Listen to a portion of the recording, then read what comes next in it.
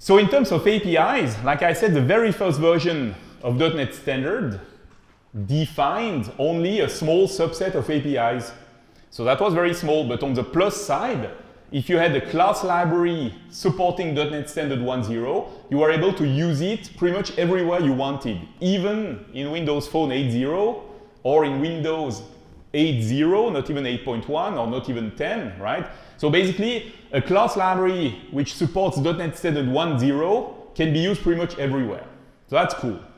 But of course, you have only a few APIs at your disposal. So at some point, you hit a wall and maybe you have to upgrade and maybe you have to say, okay, my class library, actually, I can't go with 1.0, it's too small. Let's go with 1.6, for example, or something, so you have more APIs. But then suddenly you see some frameworks don't support that anymore.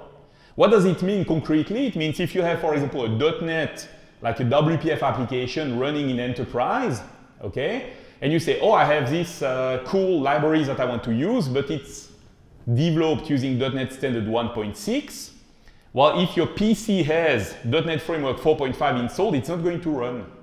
You need to upgrade your PC to 4.6, and that could be an issue in enterprise especially, okay? Because as you know, if you want to upgrade to .NET uh, 4.6, you have to upgrade the whole PC and maybe the whole fleet of PCs. So that could be an issue, okay?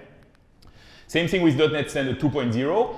Now we have something like 20,000 new APIs, so it's huge, okay? But of course, .NET Standard 2.0 supports even less frameworks, so you might have an issue. Like for example, if you had an old ASP.NET Core 1.0 application running on the web, running on Linux, that's cool. But if suddenly you decide, oh, I have this class library which is 2.0 that I want to use, then you have to upgrade your ASP.NET application to 2.0 as well, like it shows on the first line, which might be an issue. Okay? So there is this difference between the application number, what do they support, and the class library if you want. So if I summarize, and this is a small view of a huge table which is at this address, don't be scared.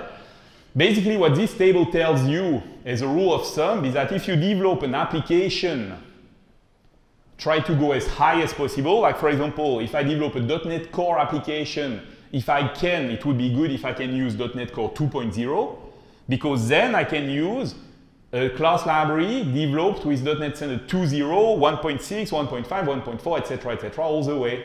Okay? If I have uh, a .NET framework application, like a WPF application, if I can use 4.6.1, then I'm good. I can support all the .NET Standard versions. On the other hand, if you're a class library developer, then you should try to shoot for the lowest possible version. Okay? because you will have less APIs at your disposal for your class library, but then your class library can be used everywhere without having to worry about upgrading the application framework. Does that make sense? Okay, I know that's tricky, those version things, but basically, you know, that's kind of the rule of thumb, okay? Class libraries try to shoot as low as possible.